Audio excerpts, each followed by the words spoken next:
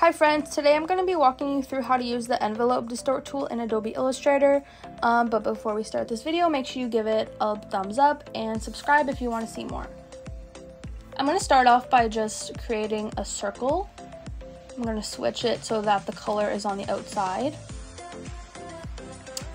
And then I'm going to use the pen tool to create some waves in this circle.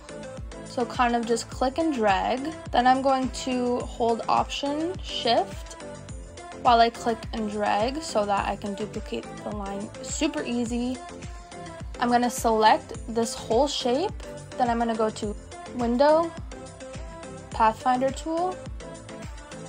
And then this is my best friend. We're gonna go down and click divide and then object ungroup. And then as you can see, the parts of the circle separate, which is super handy. Okay, I'm just going to put this circle aside for now. Then I'm gonna go to the text tool. I'm gonna type in what I want to use, but first I'm gonna switch the font to, I love this one, the super funky font. Okay. Then I'm gonna type in what I want my design to say. So once I have it typed out, I'm gonna go to type, create outlines, object ungroup. So now it's all separated, but then I am actually gonna group the words together. I'm gonna bring my circle back over here. So once you've done that, we can kind of start dragging the words in their designated places. And then you actually wanna make sure that all your words are below the circle. So you're gonna select all your words and then go to Object, Arrange, to back. Okay, now I'm gonna select the first word as well as the first shape. Make sure both of them are selected. And then we're gonna go to object, envelope, distort, make with top object. And you see it kind of fits the shape that you had in the circle. Then we're gonna do the same thing for the next one. Make sure it's selected, go to object, envelope, distort, make with top object. And for the last one, object, envelope, distort, make with top object. And there you have it.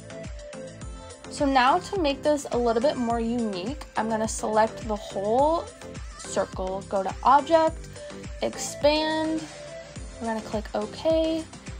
So now they're separated again. So once you have your whole circle, we're actually gonna click unite on the Pathfinder so it becomes one. I'm gonna put her away for now. And then use the eyedropper tool you can either click it here or you can use I as the shortcut. We're going to select our second brightest color. So that is perfect.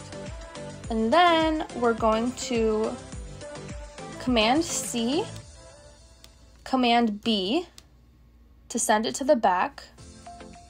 Then we're going to shrink it by holding Shift Option while we shrink. Then I'm going to use the eyedropper tool again to select the dark color. And you can see it floating back here. And then make sure to do this to option drag the first design so that we do have it later on. We're going to need it. Select both of your circles. Then we're going to go to object, blend, blend option. And then here it's going to say Normally smooth color is the default, but we're gonna go to specified steps.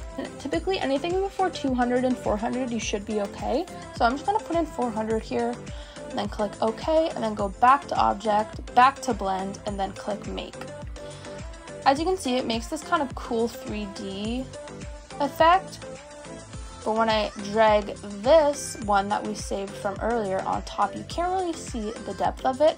So I'm gonna go back to the eyedropper tool and then click this lighter color.